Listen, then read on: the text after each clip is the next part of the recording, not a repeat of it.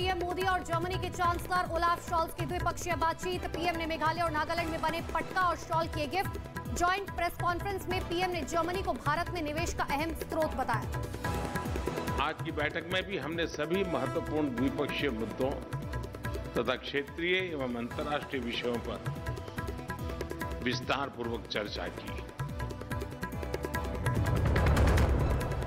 बिहार के पश्चिम चंपारण में गृह मंत्री अमित शाह की बड़ी रैली। महागठबंधन सरकार पर किया वार। अमित शाह बोले, बिहार में अपराध चरम पर पहुँच गया।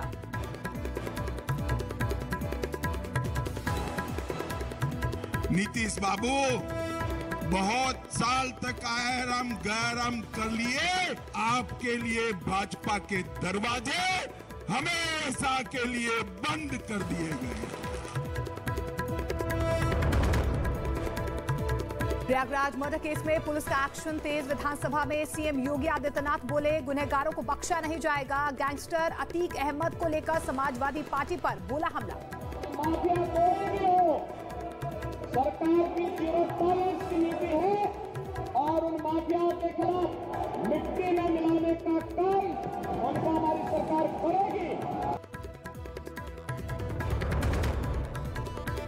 पोस्ट बजट वेबिनार में प्रधानमंत्री नरेंद्र मोदी का संबोधन, कौशल और शिक्षा संबंधी बजट पर हुई चर्चा। पीएम बोले, युवा कर रहे हैं देश के अमृत काल का नेतृत्व। अमृत काल के इस प्रथम बजट में युवाओं को और उनके भविष्य को सबसे ज़्यादा अहमियत दी गई है। पश्चिम बंगाल के कूच बिहार में केंद्रीय मंत्री निशित प्रमाणिक के काफिले पर हमला। टीएमसी कार्यकर्ताओं पर हमले का आरोप। निशित बोले, हमला करने वालों को पुलिस दे रही है सुरक्षा। तृणमूल कांग्रेस का इस जो बिहेवियर है, इसको मैं धिक्कार करूँगा। जो लोग बॉम्ब बॉम्ब मार रहा है उनको सेव कर रहा है, पुलिस उनको प्रोटेक्ट कर रहा है। रायपुर में कांग्रेस के पचासीवें अधिवेशन का दूसरा दिन। अधिवेशन में सोनिया गांधी का संबोधन। सोनिया गांधी बोली, कांग्रेस ने लोकतंत्र को मज़बूत किया।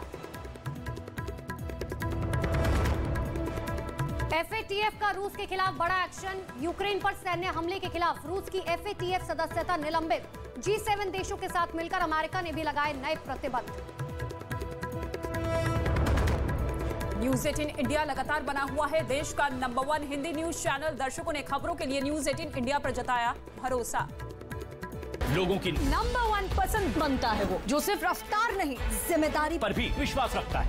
देश का नंबर वन न्यूज़ चैनल बनता है वो जो देश हित और जनहित दोनों को सर्वोपरि समझता है। न्यूज़ 18